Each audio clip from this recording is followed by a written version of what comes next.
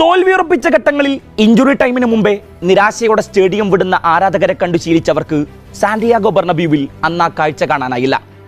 ഇനിയൊരു തിരിച്ചുവരവിന് ഇഞ്ചുറി ടൈമിൽ അത്ഭുതങ്ങൾ സംഭവിക്കണമെന്നറിയാമായിരുന്നിട്ടും ഏതോ ഒരു അത്ഭുതവും കാത്ത് അന്ന് റയൽ ആരാധകർ ആ ഇരിപ്പിടങ്ങളിൽ തന്നെ ശ്വാസമടക്കി പിടിച്ചിരുന്നു. ഒടുക്കം മത്സരത്തിന്റെ എൺപത്തി ഒമ്പതാം മിനിറ്റിൽ അവർ കാത്തിരുന്ന ആ അത്ഭുതം അവതരിച്ചു. വലതുവിങ്ങിൽ നിന്ന് കാമവിങ്ക നീട്ടി നൽകിയ പന്തിനെ വായുവിലുയർന്നു പൊങ്ങി കരീം ബെൻസേമ ഗോൾമുഖത്തേക്ക് തിരിച്ചു. പിന്നിൽ നിന്ന് ഡിഫൻഡർമാർക്കിടയിലൂടെ പാഞ്ഞെത്തിയ റോഡ്രിഗോ ആ പന്തിനെ മനോഹരമായി വലയിലെത്തിച്ചു. പക്ഷേ റയലിന് അത് പോരായിരുന്നു.